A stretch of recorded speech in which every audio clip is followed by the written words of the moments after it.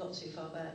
So I walked over to where he was and picked up this tray full of empty glasses, which was on the table next to him, and held them over his head. And I was truly deciding whether to smash it down his head or not.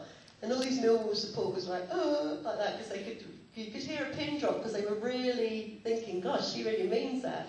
And I was like, and then I thought, no, better not really. So I put the tray down and went back to the mic.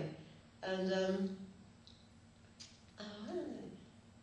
Yes, yeah, so, then, then, I, then I sort of got a bit dizzy because this thing was like, it hit me in the face.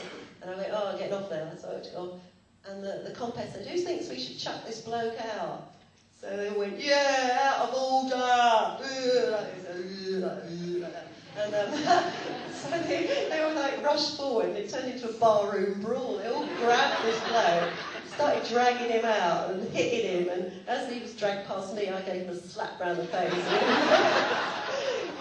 dragged out, chucked out the street. And then the compere got me back on again, as if I hadn't suffered enough. So uh, that was another worst gig too.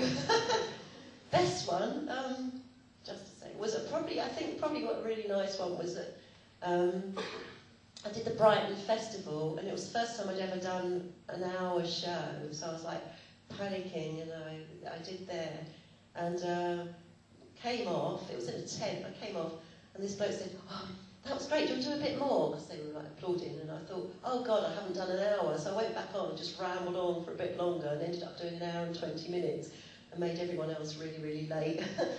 Because I didn't know. And then I went to a pizza place afterwards, and a lot of the audience were in there, and they clapped as I walked in. And that, that was just so nice, because I'd seen that on films, you know, on old black and white films where the actress walks down the, the staircase like that, and they're going, oh, Pizza Hut was quite similar. but that was really